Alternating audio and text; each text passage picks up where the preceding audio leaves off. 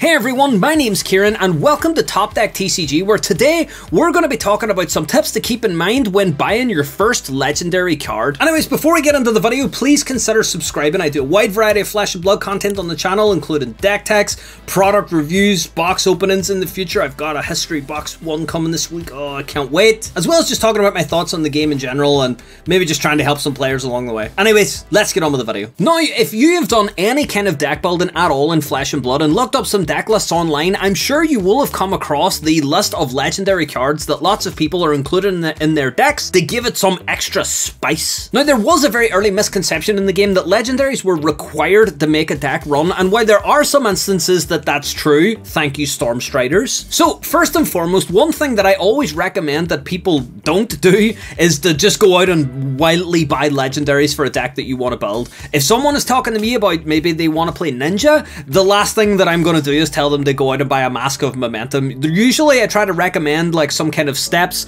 that are a bit more inexpensive to see whether or not you like the class first, and then from there, go ahead and pick up a Legendary if you really feel like this class is something you want to invest your time and more importantly your money into. So these tips have been prompted by the announcement of the June Armory kit, which includes a brand new card, actually three brand new cards, but a brand new cold foil, the Blossom of Spring, which reads as an action, you can destroy Blossom of Spring, gain a resource, and it has go again. Is it a Wish.com tunic? Is it, Mom, I want a tunic, no, we already have a tunic at home tunic? Yes and no. I think it is a lesser tunic in a sense. However, I think that it could be the gap that some people need to save them having to buy a tunic in the future. So I would say that if you manage to pull a tunic or if you have one, you bought one in the past, fantastic. I think that that's a great idea to use that in your deck in place of this card. I think that you'll probably get more utility out of it in most cases. Some fast blitz games, maybe not. However, uh, for 99 times out of 100, I would say Tunic is going to be better than this card. However, this card I think still has an important place in the game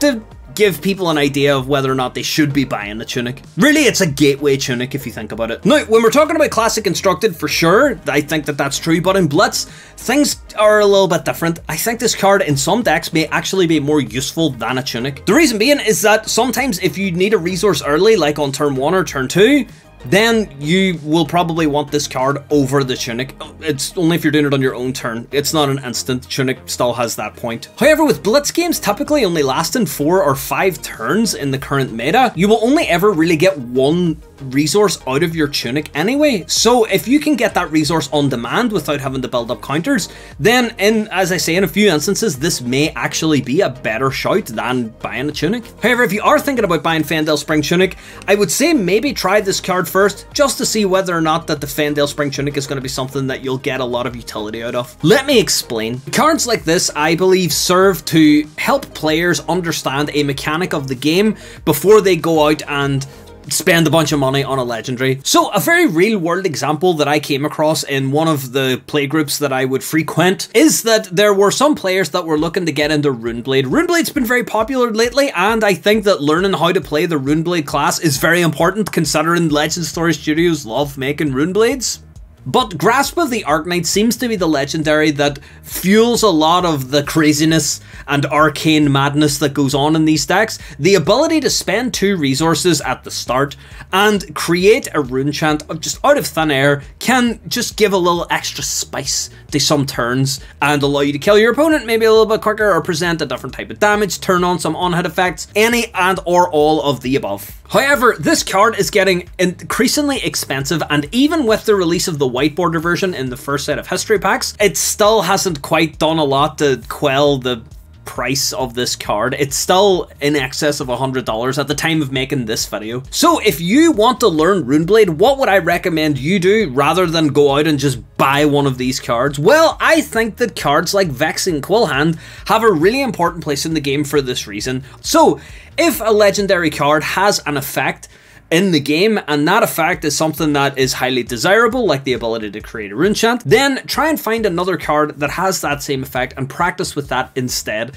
It tends to be a more inexpensive way of seeing whether or not you find this effect beneficial, or whether it's something that gels with your playstyle, and then if it is, and it's something that you're getting used to, you can go out and buy the legendary that you want. As I say in my very real world example, I had a friend who really wanted to pick up Grasp of the Arknight, and ultimately ended up pulling a Vexing Quillhand from a booster of Everfest quest that he picked up for entering a tournament. And so, he ultimately went on to win our local pro quest with a Chane deck, which included Vexing Quillhand in place of Grasp of the Arknight. Now, I'm not saying that Grasp is useless and that couldn't have helped. I may have had an easier time. I'm not sure if he would have had an easier time or not using Grasp over Vexing Quillhand. However, I would say now that his purchasing decision, if he was to go and buy a Grasp of the Arknight, is probably made a lot easier by the fact that he knows how that that effect works within his deck. Let me give you another example. So one card that I hear people wanting more than anything else, it's the card that I hear people wanting to buy above all others is a Fyendal Spring Tunic. So Fyendal Spring Tunic so far has been printed three times and it has again, it commands a pretty ridiculous price. Even the white border version is insane money, like £130 at the time of recording this video. So, for people who aren't sure, Fyendal Spring Tunic reads, At the start of your turn, if Fyendal Spring Tunic has less than 3 energy counters,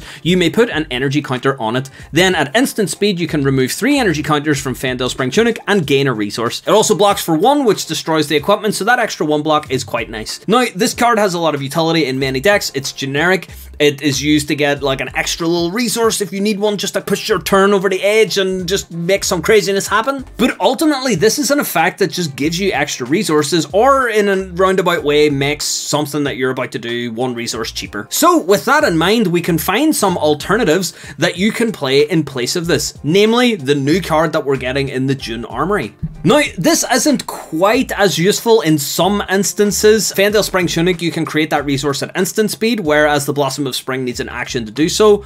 However, you can still, on your own turn, most of the time, break the piece of equipment and gain yourself a resource. Not quite the best, it doesn't block for one, it, it, it's not a Fyendal Spring Tunic, if it was it would be as expensive as one. However, it still gives you the effect of adding a resource and then you can play around with that, see if it's something that fits in your current build and if it does and you find some success with it or you find that you really enjoy that playstyle, then you can go ahead and purchase a Fyendal Spring Tunic with a bit more information that you're gonna be spending your money wisely. And PSA in the middle of this, because I've had some people mention this to me, do not crack boxes to try and get the legend legendary that you want. My goodness. I think I worked out that it's like, if there's six legendaries in a set and you get one legendary in four boxes, uh, assuming you never get the same legendary twice, that means you'll have to open 24 boxes to get the legendary that you want. And if each box is like $70 or something, that's just maths that I don't even gonna do right now. At that point, you're best just finding out whether or not you like the legendary and then buying it afterwards. All too many times I've seen people crack boxes to try and get legendaries and get one that they don't want, and then they go ahead and try and trade it. Maybe they don't get the same amount of money when they sell it, they have to put more money to it. Or I've seen people buy legendaries and then immediately find out that they don't like the class and then have to go ahead and sell it afterwards, maybe losing some money in the process. I don't like seeing people get into situations like that. I think it gives people feel bads around the game that they're trying to play, and I ultimately want people to have a good time. Also, just as a PSA, if you are buying legendaries to try and give yourself an edge, if you aren't versed in playing the class, you're probably not gonna experience the edge that you want from it. What I find is that legendary equipment usually gives you a slight edge that really only means a lot whenever you're playing at like a higher level. But if you're just starting out or you're playing some blitz games with friends or you're just kind of like mucking around with the game, then I don't think that legendaries are required. If you pull one or you have one, play it, great, that's fantastic.